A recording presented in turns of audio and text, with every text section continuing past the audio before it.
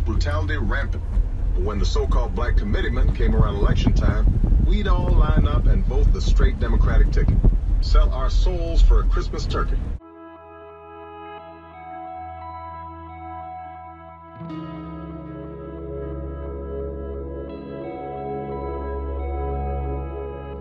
Let's not sell out for another Christmas turkey. The more things change, the more they stay the same. The Democrats keep taking our votes for granted.